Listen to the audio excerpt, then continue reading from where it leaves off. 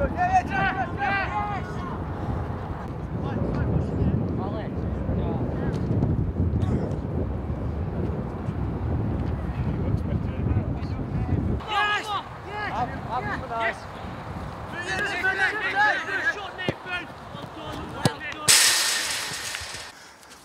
I'm with uh, Mark Spencer, the uh, Academy Manager. Uh, the club's had uh, scholarship trials this week First of all, tell us what sort of response you had to the, uh, advertisement we put on social media. Yeah, uh, obviously the it went online a few about a month ago.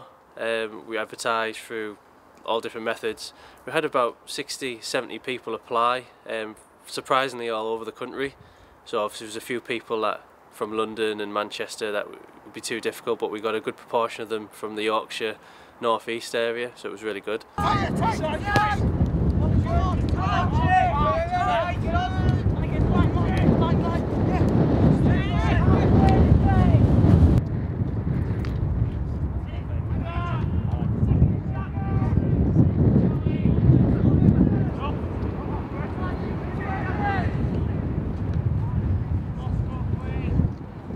How did you uh, decide which boys would be invited to the trials?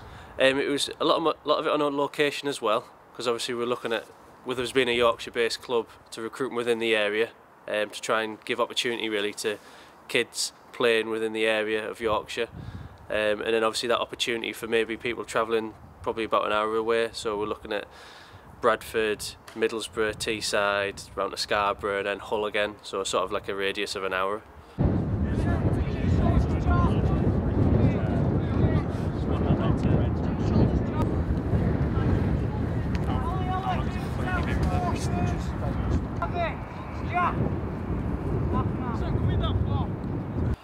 And what format did the trials take? Um, they had two sort of open trials. The, the application finished online the Sunday before this week, um, and the Tuesday and Thursday we there were the opportunity for them to come play and participate against each other. So it was nice to really see the talent on show and, and the different variety of players that are out there.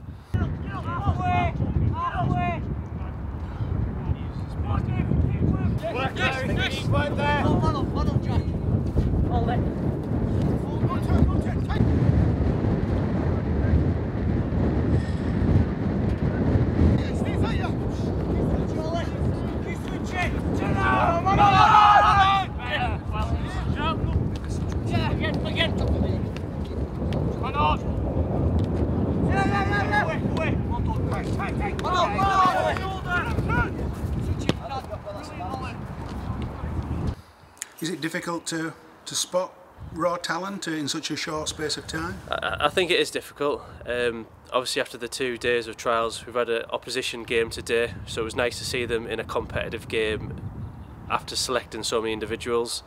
And then, obviously, what we'll do is just keep maintaining sort of future trials and trying to get on board more numbers and trying to up the quality because that's what we really want at the football club. We don't want lots and lots of players for the sake of it. We want we want the quality here. Did you spot any potential stars of the future? Um, yeah, we, we spotted some potential good players um, who have sort of been invited back to the club and hopefully they'll be part of our Academy Games programme on a weekend so we can really look at them more in depth as the weeks go on.